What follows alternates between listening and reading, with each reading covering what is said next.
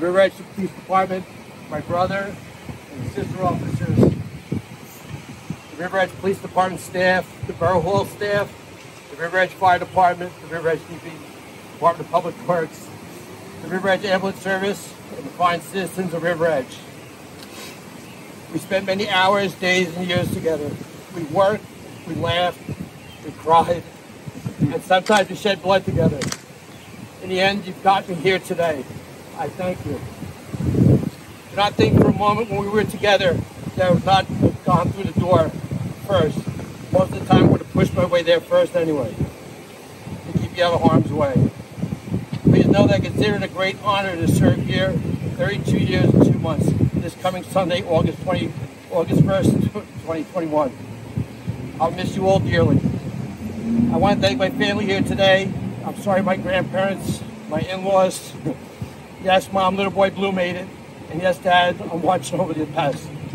For my father, Aunt Barbara, and cousin Robert, who fought the battle valiantly this year. I, I miss you three deeply. My beautiful wife, Lynn, who remained married me to me for over 26 years and then some. Um, you've been my bestest friend, supporter, listener, therapist, love my life, and soulmate.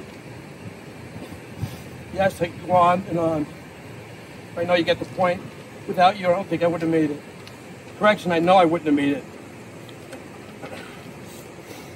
To her daughter, Brielle, you have been more than to me that you, you have been more to me and mom than we could ever have asked for. You truly are the million dollar baby. I'm so proud of you and cannot wait to spend as much time as I can with you and mom.